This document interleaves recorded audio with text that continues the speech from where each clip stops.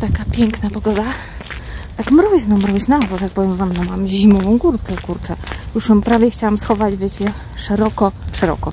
Chciałam ją już głęboko schować do szafy, ale niestety nie. Ptaszki śpiewają, że szukam wiosny. O, wrony kraczą, że gdzieś jest. Znaczy czuć ją, czuć. Może nie widać i jeszcze tak naprawdę w nocy to są mrozy. Idę teraz do e, krawcowej, tam ta, która mi szyła, wiecie, tą kurtkę, co mi się tej zimy rozeszła. I nie wiem, czy pamiętacie, e, pokazywałam Wam tą bluzę z Pull&Bery, gdzie ten lakier mi tak chlapnął i w ogóle. I powiem Wam, że wymyśliłam naszywki. Więc odbiorę i w domu Wam pokażę. Zobaczymy, jak to wyszło.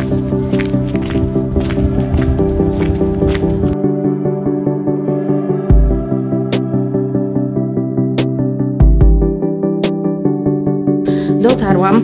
Powiem Wam, że no to trochę oczywiście zawsze zmarznie. Widzicie bluzę? Zaraz ją Wam pokażę, co się zmieniło. Mega się cieszę i tak sobie pomyślałam, nie ma tego złego, co by na dobre nie wyszło. Pokazywałam Wam te plamki. No i tak średnio, co tylko po domu chodzić, ale to też, słuchajcie, no po domu ludzie mówią, że gorsze rzeczy, no ale z plamami to, to, to tak średnio, nie? Więc wymyśliłam naszywki. I to dodatkowo spowodowało, że ta bluza jest unikalna, pomimo że z Pull&Bery, ale z moją inspiracją wiosenno-letnią. Więc przebieram się. Patrzcie, to są moje inspiracje. Pozdrawiam mamę, bo tą naszywkę jak zobaczyłam, to przypomniało mi się mojej mamy skuterek. Pozdrawiam świętokrzyskie, pozdrawiam rodziców. tak, więc to mnie zainspirowało. I dodatkowo zobaczyłam, nie wiem czy były w innym kolorze, bo moja mama ma innego koloru, ale ja uwielbiam fioletowy kolor i w ogóle z tym wrzosowym, no to uważam, że świetnie koresponduje. I sobie wymyśliłam, bo tutaj miałam najmniejszą tą kropeczkę, tu miałam największą, tu miałam najmniejszą kropeczkę, więc pomyślałam sobie, że ten skuterek jakby chciał w tunel wjechać, tak, tą kangurkę, więc sobie tu będzie z boku, tu kapelusz, to też pozdrawiam mamę, bo moja mama lubi takie kapelusze. Ja lubię czapki, ale moja mama lubi kapelusze. A ten po prostu dzbanuszek, słuchajcie, w słoneczniki. Słoneczniki to jest element słońca, takiego letniego.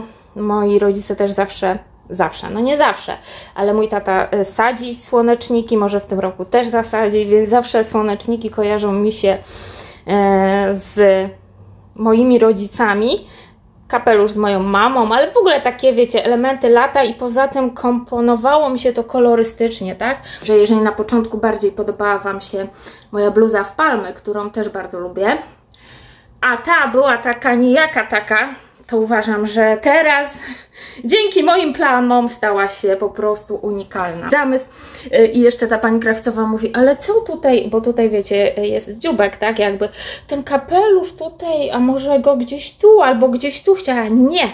Ja mówię, właśnie ma zakrywać dziubek, żeby żadna mucha nie wleciała. Mamy piątek, piątunio, słynny piątun, hashtag piątunio na Instagramie. Najczęściej, kiedy jest piątek, to najczęściej takie hasztagi się pojawiają. To jest ten piątek przed lockdownem. Wczoraj właśnie dowiedzieliśmy się, że znowu robią lockdown. Nie będę się na ten temat wypowiadać, bo to chyba nie ma sensu i to nic nie zmieni. Ale do czego zmierzam? W ogóle dzisiaj jest taka aura pogodowa, powiem Wam, taka sama jak tego dnia, kiedy robiłam tatuaż. Więc co to oznacza? Oznacza jedną, że przyszedł dzisiaj czas na trzecią dziurkę. Mega się cieszę i w ogóle, no bo właśnie mm, przypomniało mi się, że jak szłam sobie robić tatuaż, to to też było dosłownie chyba piątek właśnie, albo czwartek, jakoś tak, albo środa, chyba środa, no nieważne, ale to był też jakby ostatni tydzień przed lockdownem. nie wiem, zbieg okoliczności na pewno, ale mega się cieszę, bo e, zawsze Wam wspominam w ogóle jak e, robiłam film o nausznicach i w ogóle e, kupuję kolczyki i tak dalej, to zawsze mówię Wam, że brakuje mi tutaj trzeciej tak do kompletu.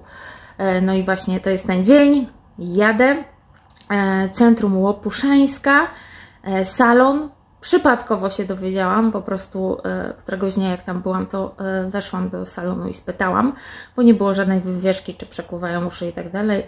Pani tak, powiedziała, że tak, zapisałam je i jadę, także będę się odzywać później. Zobaczymy, jak to będzie wyglądać i opowiem Wam. Także odezwę się później, wyruszam. Że dotarłam, że chyba paczkomat jest, widzicie, Łopuszańska. Także tak wygląda w Warszawie aura piątkowa przed lockdownem. E, popijam jeszcze moją wodę z cytryną, z miętą i z imbirem. Mm, muszę tak, nową maskę sobie założyć. E, nie wiem jak wy, ale no każde maski są, wiecie, tą, którą ja mam, słuchajcie, to jest Made in Poland.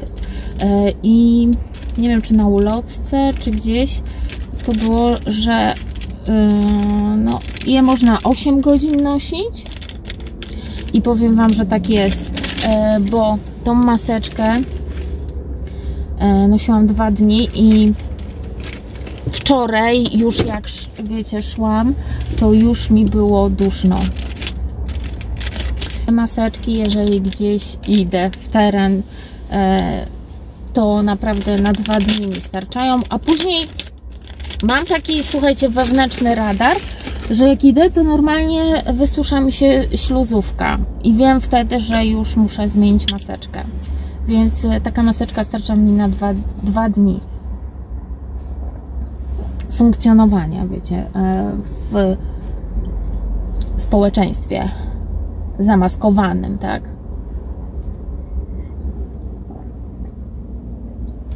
Co jest, no, samo w sobie stresujące.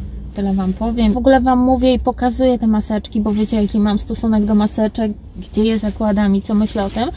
E, ale zauważcie, jakie nosicie, żebyście mogli oddychać. Bo te takie klasyczne, co ja mam w kieszeni, w razie czego, o te, wiecie, jednorazowe, to są chirurgiczne. Wiecie, e, one zostały stworzone dla chirurgów, tak, którzy, żeby ślinę, żeby tam jakieś powietrze, żeby nie pluli w cudzysłowie, na, na człowieka, którego operują. I co pół godziny zmienia się takie maseczki więc one nawet nie są jednodniowe i nic dziwnego, że wcześniej jak je nosiłam, e, to po prostu miałam stany zapalne zatok. Dobra, idę, bo to fajny dzień. O, bo coś mi nie pasowało. Z wrażenia, z wrażenia założyłam e, odwrotnie maskę. Właśnie coś mi nie pasowało, bo w tych maskach jest dobre to, że tu sobie mogę, wiecie, tak zrobić, żeby mi to nie przyciskało twarzy, tylko lekko odchodziło, co nie jest proste. One się wyrabiają i właśnie na drugi dzień są najlepsze, no ale na trzeci dzień już muszę je zmienić. Dobra, idę. Także teraz jest dobrze. Brawo, brawo, blondyneczko, brawo.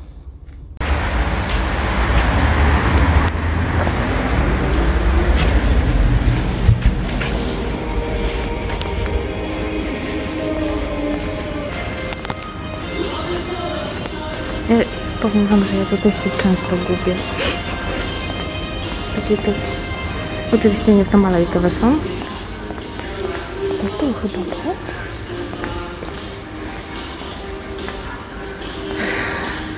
O, tu mamy ziemię.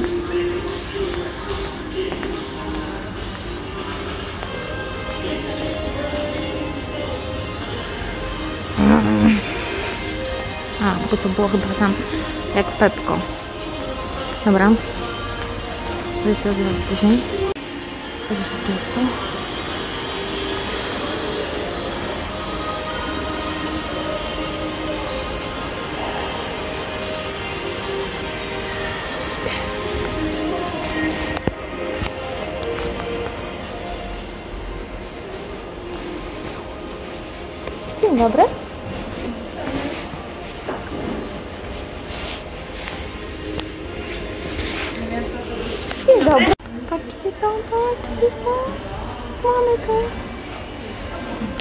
Pięknie jest.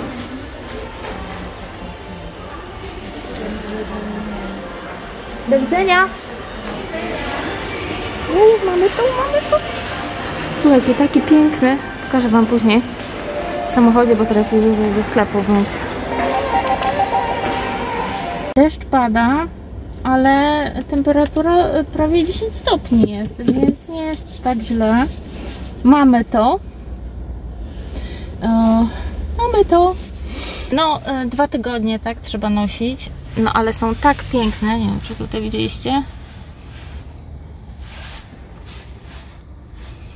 E, no właśnie, i to jest naprawdę to, czego mi brakowało. Także pani Milena, bardzo fajny zakład. Pytałam się ich, słuchajcie, to oni nie zamykają się na lockdown, e, mają, swoich sta mają swoje stałe, stałych klientów pozapisywanych. No mówiła, że ciężko, więc jeżeli jesteście z Warszawy, Łopuszańska 22, Panie kosmetyczki, maniukiurzystki e, są do Waszej dyspozycji, więc możecie dzwonić i się umawiać, bo trudno im, trudno. Mm, to chyba bardziej mnie bolało, prawe, tak, e, tak jakoś tak ten, to mniej, to prawie w ogóle. A to było drugi raz, wiecie, pistoletem, tak, przekuwane. Natomiast to, to mnie tak e, bardziej tak jakby zabolało, ale to jest taki specyficzny ból, to taki jakby ktoś was ścisnął ucho i to nawet nie, że pociągnął tak, tylko ścisnął. Mm, no ale mega mi się podoba i w końcu, w końcu mam tak trzy dziurki to za mojej młodości, to później jak mm, wyprowadziłam się z domu, tu już taka dorosłość, samodzielność, teraz na starość, E, i byłam też w naturze, tutaj jest natura i miałam zamawiać e, ze sklepu online e, ten podkład taki, bo mówiłam Wam, że wykończam wszystkie tam podkłady no i chcę jakiś przetestować. Online znalazłam taniej ten podkład oczywiście niż nawet tutaj co był na promocji. Natomiast no wiecie to jeszcze przesyłka dochodzi prawie 10 zł odebrać, ten być, więc e, szczerze mówiąc na to samo wychodzi. On w promocji kosztował 39 zł. Wzięłam ostatni, ten 105, bo były jeszcze porcelain. Tu natura jest bardzo fajna, w, w tym sensie wiecie, takie zaopatrzenie, bo, mm, bo są tutaj produkty. E, wzięłam płatki kosmetyczne kwadratowe, one są bardzo fajne, były też na promce za 2,30 E, a propos Sorai, było takie mleczko, mm, różane mleczko do demakijażu.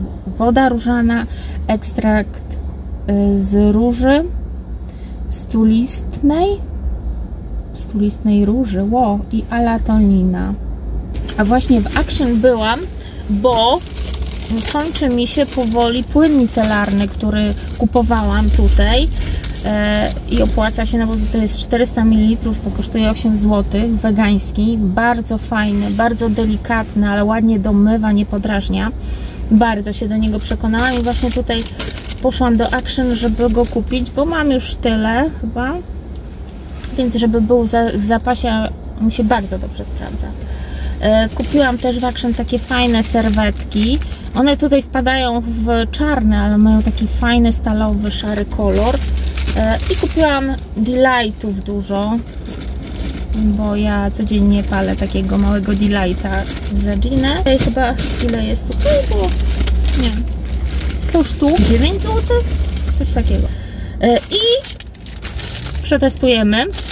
Feeling to jest Italiano, były różne. Tutaj w przewitkach Wam pokażę. Zastanawiałam się nad trzema, e, które przetestujemy i Dajcie znać, czy której z nich znacie. Ja wezmę to, przegryzę. No w ogóle chyba jeszcze tutaj podejdę, słuchajcie, do Biedronki. Ale no już tutaj tych zakupów trochę było, więc chciałam to zostawić w ogóle e, w samochodzie. Czyli testujemy Trancico. Pozdrawiamy Italii. Powiem Wam, że z Italii to y, byłam we Włoszech, byłam w Wenecji. E, jak studiowałam e, białoruski, tak, na Uniwersytecie Warszawskim, kierunek filologia białoruska, nie ukraińska, nie rosyjska, białoruska. Tak, uczyłam się starocerkiewnego słowiańskiego języka. Mm. Każdym bądź razie, bo w ogóle na maturze zdawałam rosyjski, ale dlatego zdawałam, ponieważ miałam świetną rusycystkę, tak, świetną panią od rosyjskiego i, i u niej miałam tróję, wiecie, ale wiedziałam, że ta trója to jest tak jak w innych szkołach piątka i że właściwie bez przygotowania zdam maturę i tak było. Z matury dostałam czwórkę z rosyjskiego. Z angielskiego miałam piątkę, chociaż nie czułam się i uważałam, że nie umiem. No, że ten pan nas tak w moim odczuciu słabo uczył. Dlatego się nie podjęłam, bo nie chciałam E, wiecie, bo nie chciałam się tak dużo jakby uczyć, dodatkowo stresować angielskiego, a że miałam w ogóle takie humanistyczne przedmioty jak biologię, gdzie tam no pamięciowo dużo jest rzeczy, tak? Później się kojarzy to, ale biologia też z chemią ma dużo, więc to jest takich pamięciowych, nie ukrywajmy rzeczy, więc y, żeby tego mniej mieć do ogarnięcia, to wiedziałam, że rosyjski zdam prawie bez przygotowania, po prostu ucząc się w czwartej klasie. No i tak się stało. A biologię zdawałam mm, i pisałam z genetyki maturę. Ja e, i najlepsza uczennica, dwie tylko z całego roku pisałyśmy o genetyce. Mm, nie wiem, chyba Wam to mówiłam ale no to, to są takie traumy, nie traumy, traumy, nie traumy, które pamiętam do dziś, bo później po tej maturze można było tak przyjść e, i zobaczyć te prace, porozmawiać ze swoim nauczycielem. E, I pamiętam jak dziś właśnie ta moja pani od biologii mówi do tej mojej koleżanki, nie powiem jej imienia, ale mówi, no myślałam, że lepiej napiszesz. Kasia była słabsza, tak, że z biologii miałam jakby słabsze wyniki i tak dalej, e, a napisałam znaczy dostałam niższą ocenę tylko dlatego, że wiecie, że, że po prostu w czwartej klasie miałam słabsze stopnie, tak? A żeby podbić tą dziewczynę, która była dobrą uczennicą, to ona jej podwyższyła. Natomiast tak przy mnie powiedziała jej, że spodziewała się po niej czegoś więcej, a za mnie no, jest bardzo dumna, czego nie, wiecie, czy, czego jakby stopniem nie było widać, tak? Ale to, co Wam mówię, i to zawsze mi rodzice też powtarzali, że nie liczą się stopnie, ważne, co masz w głowie i czego się nauczysz dla siebie. Ja zawsze tak podchodziłam i po prostu jestem taką osobą, wiecie, e, że nawet na studiach, przed e, jakimiś tam, przeważnie przed testami, bo ja z testów nigdy nie byłam dobra, albo w ogóle mam lepsze gadane z tego. No, widać zresztą, YouTube'a prowadzę, gadam, nie? E, zawsze wolałam odpowiadać niż pisać. Jakoś trudniej mi się było skupić, przelać, nie wiem, nie wiem. W każdym razie, wiecie, potrafiłam przed egzaminą, przed egzaminem, wiecie, ziomom moim poopowiadać dawne tematy i oni testy zdawali lepiej niż ja. No, tak było. Hmm. Natomiast łacinę Pamiętam jak dziś i mówiłam Wam, że ja zdawałam licencjata, magistra u e, księdza, profesora e, i właśnie uczyłam się e, łaciny, uczyłam się koptyjskiego języka dzięki niemu. No i łacinę zdałam, nie wiem, w 5 minut, a później a wszyscy stali pod drzwiami pół godziny, bo my sobie właśnie z księdzem rozmawialiśmy o mojej pracy już licencjackiej, tak, a u mnie egzamin trwało dosłownie chwilę z łaciny. Wszyscy się śmieli, że to ja księdza tam poprawiałam w różnych tych, no. Mam takie pamięciowe po prostu, wiecie, zdol, yy, językowe raczej właśnie, językowe, typowo humanistyczne, językowe. No i do czego zmierzam? A, a rozgadałam się, a mówiłam o Italii. O Italii dlatego, że właśnie byłam z tą moją koleżanką ale jeszcze wrócę, bo słuchajcie, jak studiowałam białoruski, też miałam język łaciński i miałam z nim problemy. Zaliczałam go tam, wiecie, w terminach wakacyjnych i tak dalej. I Dlatego ja zawsze uważam, że duże znaczenie kto was uczy. Bo jak ksiądz nas uczył łaciny, no to ja po prostu, wiecie, może dlatego też, że, że już miałam wcześniej styczność z łaciną, to później mi było tak łatwo. W każdym razie chciałam Wam powiedzieć, że nigdy się nie załamujcie, bo pierwsze koty za płoty. Czasami trzeba kilka podejść, żeby coś hapsnąć.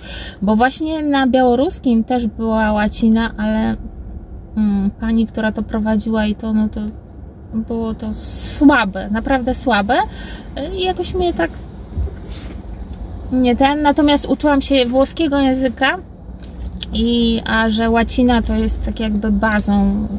Jak znacie łacinę to, to w ogóle włoski prawie znacie, więc do czego zmierzam?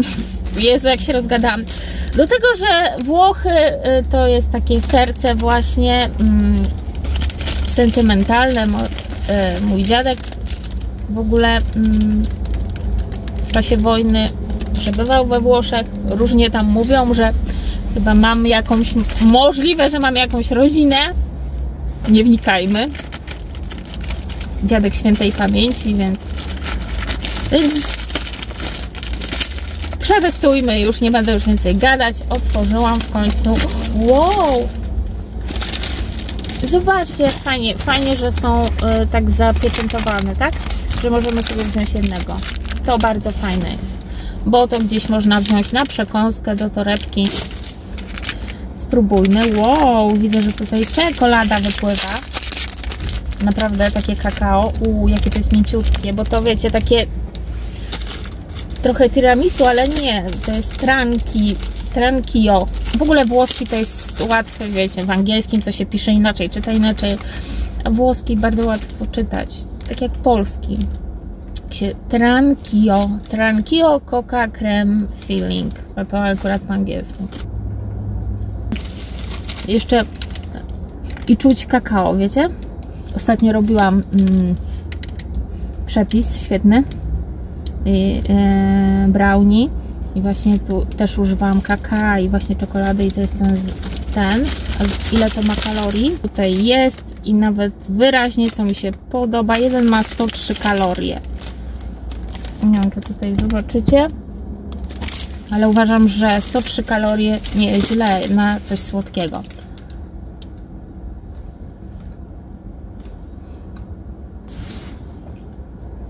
Bardzo fajny. I nie jest za słodki. Wow, super. Taki przypomina, wiecie, te takie te, w lodówkach jakie te kanapeczki. A to jest bardzo fajne ciasto, nie jest za suche.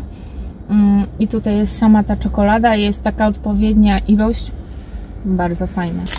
Jak lubicie czekoladę, kakao, mm, nie za bardzo słodkie, a takie, wiecie, nasycające słodyczą, bardzo. Skończyła mi się tam karta. W każdym razie, więc nie wiem, czy tam się nakręciło. Jeżeli lubicie Mm, czekoladę, takie kakaowe rzeczy, to to będzie bardzo fajne. Jest lekkie, wiecie, takie sycące. Słodkie, ale tak odpowiednio, wiecie. Słodkość nierówna jest słodkości. O, nawet słońce wyszło. Także karta mi się kończy. Słońce wyszło. Mm. I ja wiem, że jak oglądacie tego vloga, to czasami pada śnieg, czasami deszcz, wichura, a u mnie słońce, wiecie. Ale pamiętajcie zawsze o tym, że tak, że to, to jest zapis z danej chwili, tak? To w żaden sposób nie może być e, film, no może być, może być, ktoś tak może robić, mm, żeby, żeby od razu tego samego dnia wrzucać filmy, ale nie o to chodzi. Ja bardziej biorę to pod to, że słonko nosimy w sobie i zawsze Was to słońce złapie jeżeli macie je w środku.